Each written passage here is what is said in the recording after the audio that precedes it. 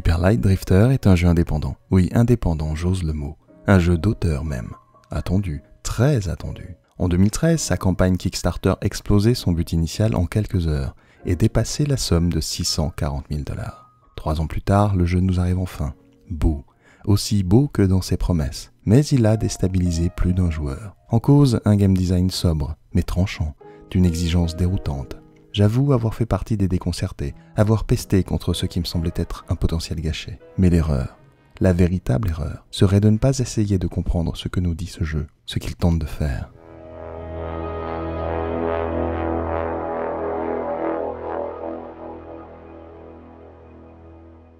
Hyper Light Drifter est un jeu d'action-aventure se déroulant dans un monde beau et mélancolique qui s'offre à l'exploration. Dans ces environnements complexes et buissonnants se cachent des artefacts nécessaires à la progression. Au hasard de ces pérégrinations, le joueur tombe sur des groupes d'ennemis redoutables et se lance alors dans ce qui fait le cœur du jeu, les combats. Basés sur le triptyque épée, gun et dash, ils sont d'une difficulté déconcertante de prime abord et exigent une grande rigueur d'exécution. Ils représentent le premier barrage pour les joueurs. Car si ces combats peuvent s'avérer passionnants et stimulants, ça ne sera qu'au prix d'une maîtrise parfaite du rythme et des mécaniques du jeu. Se soigner, faire un dash, viser juste, rien n'est simple au cœur d'un combat nerveux lorsque l'on est dépassé en nombre dans des arènes exiguës. Et ce n'est rien comparé aux affrontements de boss d'une puissance étourdissante lors des premières tentatives. Mais si le jeu exige rigueur et maîtrise, c'est qu'il est ciselé et impeccablement construit. Rien n'est impossible à qui sait observer, anticiper et garder le contrôle. Mon regret, c'est que la grâce et l'excitation de ces combats ne se révèlent totalement que lorsqu'on a débloqué un certain nombre d'améliorations. Le dash enchaîné, l'entaille concentrée, le retour des projectiles et surtout le shotgun. Une fois obtenues et maîtrisées, ces techniques rendent les combats fluides, variés et extrêmement dynamiques. Il est alors possible de se défaire des boss avec élégance et rapidité, alors qu'ils semblaient invulnérables. Pour obtenir ces nouvelles capacités, il faut fouiller le décor à la recherche de points d'expérience échangeables en magasin. Mais l'aventure peut s'achever sans même les essayer. Le jeu est presque toujours présenté comme un Zelda-like. Mais je n'ai pas reconnu tout de suite le modèle. Parce que pour moi, ce qui fait un Zelda, ce sont les objets que l'on trouve dans les donjons et les énigmes et les pièges qu'ils permettent de résoudre. Pourtant, Zelda est partout. À commencer par ce héros mutique qui se bat à l'épée et qui est accompagné d'une fée, mais des références, on en trouve par dizaines. On est en quête d'artefacts mystérieux et triangulaires. Certains environnements ressemblent à ceux de Zelda 3. Les monstres sombres font penser aux créatures du crépuscule de Twilight Princess. L'ambiance crépusculaire, comme celle de Majora's Mask, auquel il a emprunté également les thématiques et la structure. Une ville centrale, et des boss à vaincre aux quatre coins cardinaux. Et puis ces éléments, à collecter et à regrouper par quatre, mais qui ne sont que de la monnaie et qui ne font pas gagner de points de vie alors qu'ils ressemblent à des quarts de cœur dans leur découverte comme dans leur mécanique. Car oui, la barre de vie n'augmente jamais. Tout au plus gagne-t-on le droit de se soigner plus souvent. La vie a ses limites. La vie est une chose finie. Et c'est probablement le message principal du jeu. Memento mori. Souviens-toi que tu vas mourir. Car effectivement, on va mourir, souvent même, et en boucle. Ce que la vie ne vous permet pas forcément, le jeu, lui, vous l'accorde. Mourez et apprenez de vos erreurs apprenez à comprendre ce monde et affrontez-le. Cet aspect Die and Retry est en fait surtout un argumentaire, une démonstration, une injonction. Tu vas mourir. Alex Preston, l'auteur du jeu, s'est largement exprimé sur son état de santé durant le développement. Le nom qu'il a donné au studio qu'il a fondé, Heart Machine, ne fait aucun mystère de sa maladie de cœur. D'hospitalisation en hospitalisation, sa vie est une lutte, une succession de calme et de combats. Cette respiration, ce rythme, se retrouve dans la structure du jeu. Une lente promenade dans des décors sublimes peut tout à coup laisser place à un combat frénétique et mortel. Plus figuratif encore, le drifter s'arrête régulièrement, pris de douleur dans la poitrine, crachant du sang. L'esprit torturé autant que le corps, il se croit mourir, nous le voyons mourir. Cette condition de mortel et les réflexions qui ont animé Alex Preston durant ces trois années de développement ont nourri son jeu, son ambiance et ses mécaniques. Ce jeu est aussi une façon de nous faire partager son expérience et ses réflexions sur la vie. Hyper Light Drifter est ce que l'on appelle en art pictural une vanité.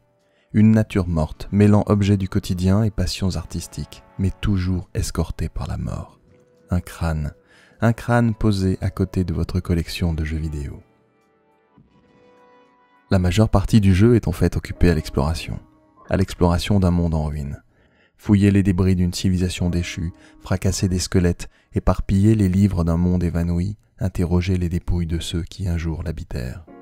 Les secrets sont nombreux, pour certains à la limite du déchiffrable, et visiter tous les recoins de ce monde est une gageure. Mais c'est surtout l'occasion d'essayer d'en comprendre l'histoire. Des indices partout, laissés à la vue du joueur mais jamais reliés entre eux par l'intrigue.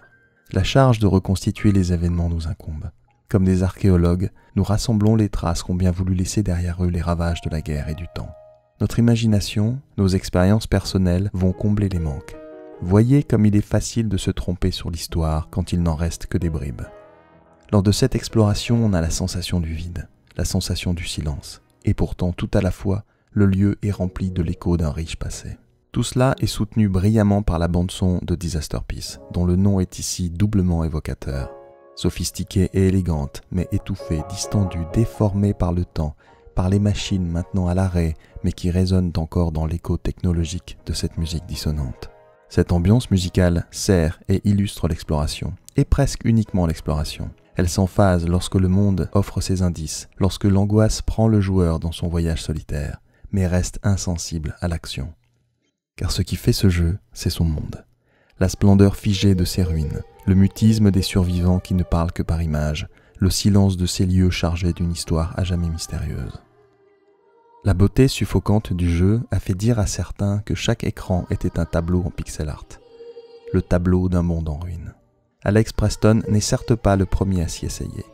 Cet exercice est appelé capriccio, un caprice, la représentation d'un paysage inventé, presque toujours en ruine, une fantaisie qui célèbre la poésie des pierres défaites. En France, c'est Hubert Robert qui en a fait sa spécialité au XVIIIe siècle et qui a attiré l'attention de Diderot. Voici ce qu'en disait le philosophe. L'effet de ces compositions, bonnes ou mauvaises, c'est de vous laisser dans une douce mélancolie. Nous attachons nos regards sur les débris d'un arc de triomphe, d'un portique, d'une pyramide, d'un temple, d'un palais, et nous revenons sur nous-mêmes.